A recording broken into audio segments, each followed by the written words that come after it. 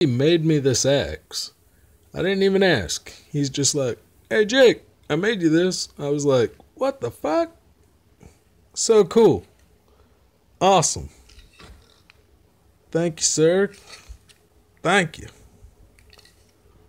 Bang. That's that's fancy.